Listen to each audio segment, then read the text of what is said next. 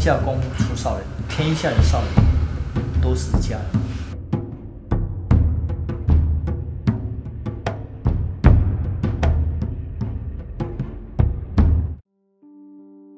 那有的人会想，他说你一个和尚，怎么天天到处去参加什么武术协会啊，啊什么商会的活动啊，其他的一些活动啊？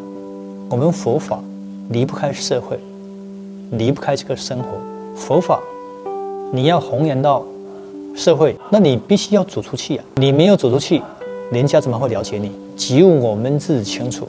就像我们修行人，冷暖自知。